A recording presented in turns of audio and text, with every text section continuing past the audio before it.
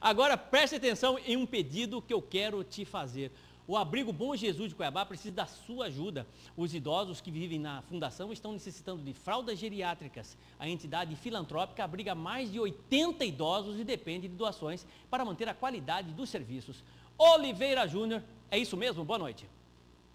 Isso mesmo, Haroldo. Boa tarde para você. Você que acompanha o Cidade Alerta em todo o estado de Mato Grosso. Nós estamos aqui no Abrigo Bom Jesus de Cuiabá para fazer um apelo a você, cidadão. Durante esses dois anos de pandemia, a quantidade de doadores e pessoas, de colaboradores que doavam alimentos, fraldas geriátricas e outros materiais, diminuiu consideravelmente, porque houve, por medidas de biossegurança, o fechamento às visitas aqui a este espaço, que é uma entidade filantrópica que há anos atende 80 idosos aqui na capital. E por conta disso, pela falta de doações, o número né, de material, lógico, é escasso. Nós estamos aqui com o Zezinho Duarte, que é diretor aqui do Abrigo Bom Jesus, para falar exatamente sobre essa necessidade. Primeiro, a prioridade zero, Zezinho, as fraldas geriátricas, não? É, são prioridades que usam muito, que nós consumimos aqui 5 mil fraldas por mês. E como você já bem frisou, a pandemia realmente atrapalhou muito e as doações diminuíram bastante. Então, todos os sentidos.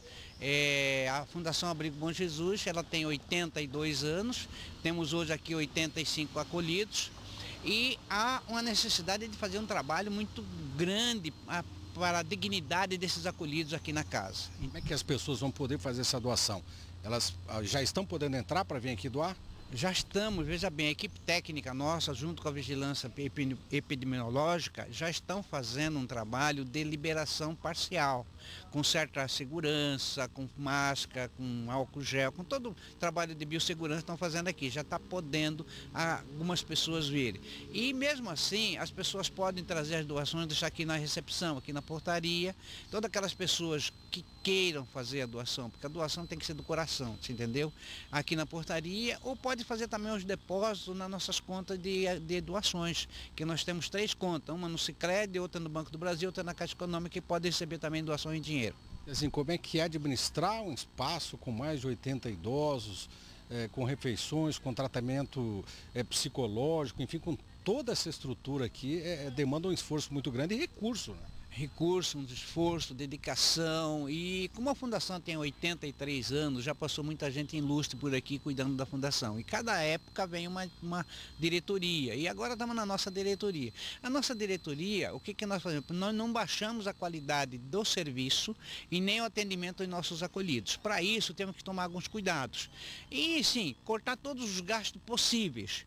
Porque nós chegamos aqui, nós tínhamos uma, um fornecimento de gás que cobrava 21 reais reais o quilo de gás. Isso foi ano passado, nós descobrimos isso, passamos a comprar de um outro fornecedor cobrando R$ reais o quilo de gás. Tiramos uma conta de 5 mil reais por mês para uma conta de 3.200. Então, todo esse trabalho de você olhar as contas, olhar onde está desperdiçando, onde pode economizar, nós estamos fazendo, para que não baixamos o serviço aqui dentro. Que nós precisamos dar para os nossos acolhidos e também para os nossos funcionários uma quantidade de comida de qualidade, serviço de qualidade, prestação de um carinho de qualidade, e isso nós estamos tentando fazer com a sociedade que nos ajuda.